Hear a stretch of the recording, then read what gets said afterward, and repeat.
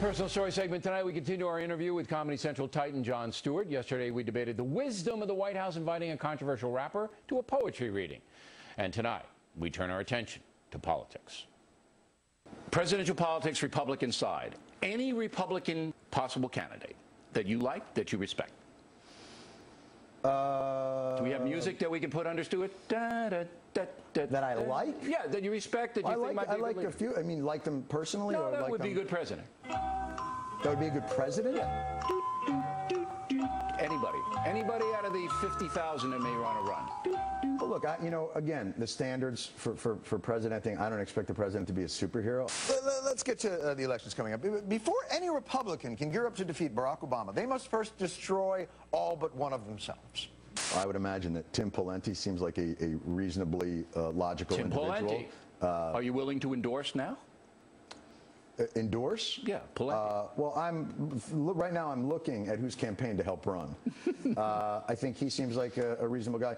Uh, Has he been on your program? Mitt? Romney looks like if you were to open a box labeled president and pulled something out, it would look like Mitt Romney. So I, I, I guess I would enjoy He's that. got hair like you. guys got the same Little kind of salt and hair. It pepper. goes up a lot. Little salt and Yeah. pepper, and we're both Mormons. So there you go. Uh-huh. So, Oh, wait, I'm are you- is that an I knew it was endorsement of Romney? Do you like his policies? Do you think he's a good leader? I thought that he didn't do terribly for Massachusetts, as I don't think. I think Pawlenty actually was uh, a little worse for Minnesota than maybe Romney, I think, was for Massachusetts. And I look at their executive experience, and uh, I tend to think that uh, executives tend to make uh, good presidents because they've had that experience. All right, so Pawlenty and Romney, because they did okay in their respective states, you would consider them Sure. as viable candidates. I would absolutely consider them as, as viable candidates. Sarah Palin.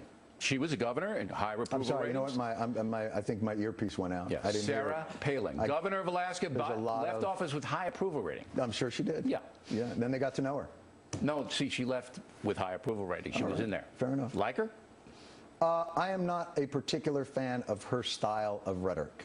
I think she's too thin-skinned. Sounds like Colbert you're describing.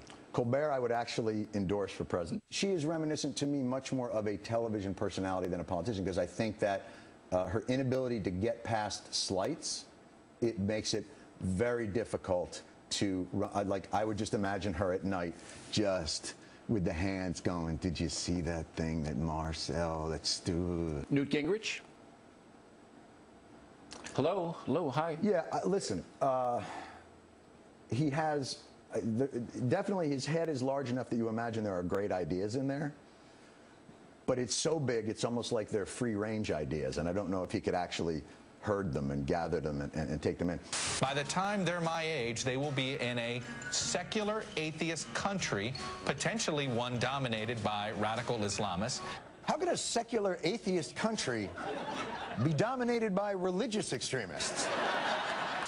Um, I think that, that Newt does not have the, you know, presidents tend to be very charismatic individuals. And I'm not suggesting that he is uncharismatic, but he doesn't, when you meet George Bush, when you meet Barack Obama, when you meet Bill Clinton, you feel them. You, there's a certain, In a literal sense. in a literal sense, some of them. Uh, Sarah Palin has that, by the way. Uh, she has that She has sort of star quality She and charisma, charisma. absolutely. I, I feel like he doesn't. He would be an excellent guy who stands behind the president going, yes. But you don't hate him like the New York Times. They loathe him. Oh, I don't, you know, again, I feel like this country is stronger than any individual you can throw at it. So I don't hate any of these people. And I don't think personally that the damage they can do is so drastic and so great that we would ever uh, be run off course by one individual. Okay. James Buchanan comes to mind, but I'm not that. All right. You now. are old. I am. How about Donald Trump? I pray For or against? that he runs. Dive in, Donald. You know what I did yesterday was very interesting. I said, "Where's my birth certificate? Get me my birth certificate." And they brought it to my office. I have it. And then I said, you know what? Dip my birth certificate in gold. Give it some fake and tell it to wait in my bedroom. That's how easy it is. Trump 2012. I'm hired. You'd like him. The man puts his name on everything he has. The only other people in the world that do that are six year olds. Like that for a comedian, he has his name on a helicopter. Who puts your name on a helicopter? Mm. Does he does he lose it in the parking lot? Like what? Why would you have your name on a helicopter? He has he has silly hair and crazy thoughts. That to me, I mean, he spends before he runs for president, he spends his day arbitrating arguments between Meat Loaf and Gary Busey. For me, That could be good in diplomacy, though. I could mean, put you know, another wing on my house if that guy runs. All I'd right. be I'd be honored. So you're not taking him seriously. No. You don't take any of these guys seriously, though. That's you mock them probably all. Right. because I think you know, unfortunately, the system that, that, that we've got makes it harder and harder for people to govern effectively because so much of their time is spent running. I actually agree with that. Okay, and we come back, Jon Stewart will talk about President Obama, and he has some surprising things to say, and I ask him to grade the president. Also, we'd like you to vote in our BillO'Reilly.com poll. Who won yesterday's debate on the rapper Common, Stewart or me?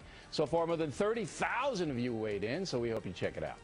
Also ahead this evening, Arnold Schwarzenegger hides a child he had with a woman in his employ for 10 years. How is that possible? Is it legal? Coming up.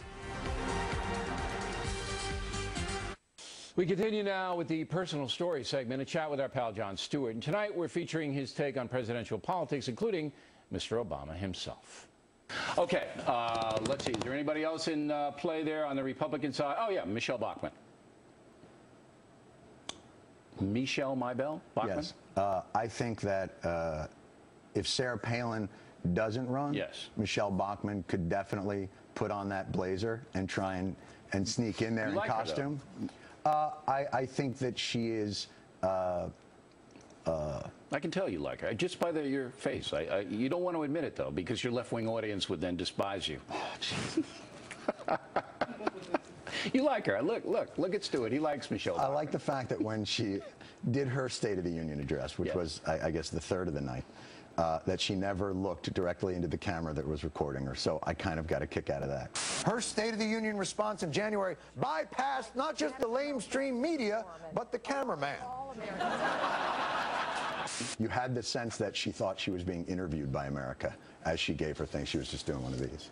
Now, this is just a, a treasure trove, all mm-hmm. this whole presidential run for you and your 18,000 writers. I mean, right. this is just unbelievable. It's unbelievable. The holy it's, grail. It's no rapper invited to the White House in terms of a boon. No, we don't get. it's- It's, not. it's big. It's not that kind of juice. now, uh, on the other side, Barack Obama, you've criticized uh, the president. My plan will require us to come together and make up the additional savings with more spending cuts and more spending reductions in the tax code. Let's say tax hike. That's like saying, I'm not going on a diet.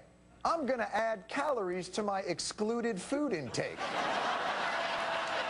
You said he's let you down a couple of times when he didn't do a far left thing that you wanted. Um, How far left am I? I'm I, it depends on the night. It uh-huh. depends on the ratings. It depends who you're You talking really to. don't know much about me, do you? Uh, and I don't want to. All right. No, that's not nice. It's not. Stewart's nice to come in here. But is there ever, would there ever be a scenario where you could see not voting for Barack Obama Sure. and voting for a Republican? sure. And what would that be? What would Barack Obama have to be beside kicking you in the head? Uh, What would he have to be? Is, is What would if I have to didn't do? If I didn't have a clear sense of the direction that he, he wanted to move the country, and, and somebody else had a more logical sense of, of where to take So it. So you're mean, an open-minded guy on this. Well, I don't think I would ever be able to convince you of that, but yeah, I, Okay, no, I consider listen. I consider myself. Millions of people are watching, and, and I'm asking the questions that they want to know about you. Now, I know you said when you took office that you were going to talk to the country like we were adults.